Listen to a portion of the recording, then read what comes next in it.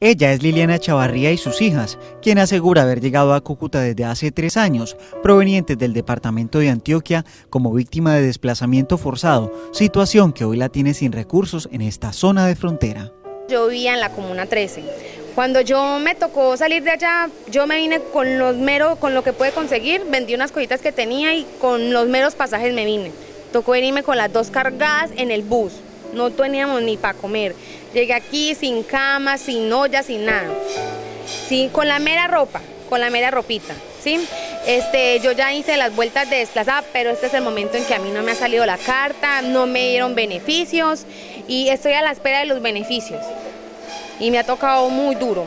Aunque su esposo es vendedor ambulante en esta ciudad, dice no tener los suficientes ingresos para sostener una vivienda, además de dejar de percibir los recursos otorgados por el gobierno. Ahorita, estamos viendo acá de arrimados, ¿sí?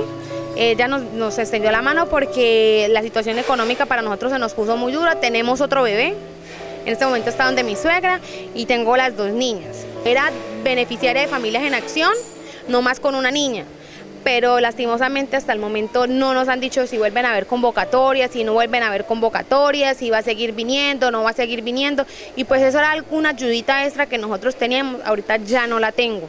El uniforme unificado de algunos implementos escolares han sido para estas personas una dificultad, por lo que piden su ayuda.